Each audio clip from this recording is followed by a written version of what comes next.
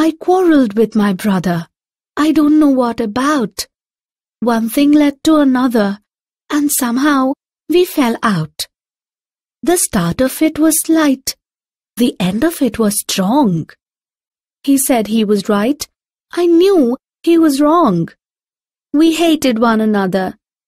The afternoon turned black.